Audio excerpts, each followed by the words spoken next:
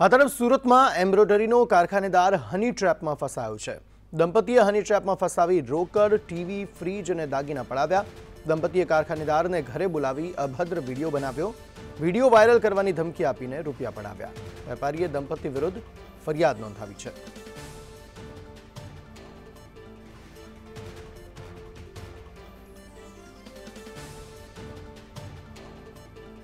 હની ટ્રેપમાં ફસાવીને આ દંપતી પાસેથી રૂપિયા પડાવ્યા.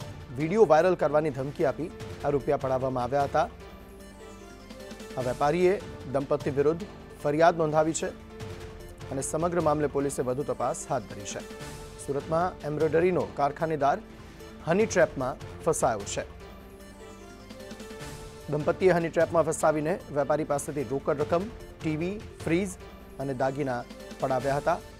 દંપતીએ કારખાનેદારને ઘરે બોલાવી અભદ્ર વીડિયો બનાવ્યો અને વીડિયો વાયરલ કરવાની ધમકી આપી. કારખાનેદાર છે તે હની ટ્રેપમાં ફસાયો છે. આ જે લોકો છે તેમને હની ટ્રેપમાં ફસાવ્યા છે. પતિ પત્નીએ છે તેમને પહેલા તો હની ટ્રેપમાં ફસાવ્યા ત્યારબાદ શરીર સુખ માનવાના બહાને ઘરે બોલાવ્યા હતા. અચાનક જ શરીર સુખ માન- માનવાના સમયે આ જે પતિની એન્ટ્રી થાય છે અને પતિ દ્વારા વીડિયો કોલ કરવામાં વીડિયો ઉતારી લેવામાં આવે છે અને આ વિડીયોના આધારે તેને વારંવાર બ્લેકમેલ કરવામાં આવે છે. આ જે વેપારી પાસેથી કહેવાય કે રોકડ રૂપિયા દાગીના સહિત ટીવી ફ્રીજ વોશિંગ મશીન અન્ય ચીજ વસ્તુઓ પણ પરાઈ લેવામાં આવે છે. સમગ્ર મામલે કહેવાય કે જે મકાન હતું તે મકાનના દસ્તાવેજ પણ કરી લેવામાં આવે છે.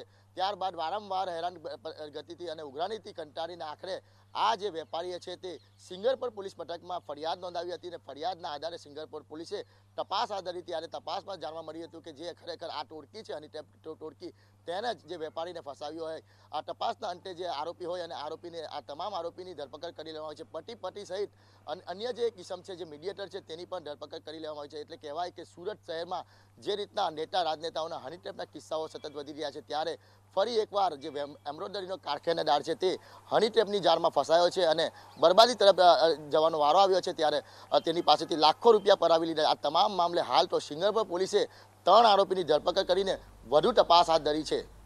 કેમેરા પર્સન ભૂષણ ચૌધરી સાથે મનીષ પરમાર, સંદેશની સુરત.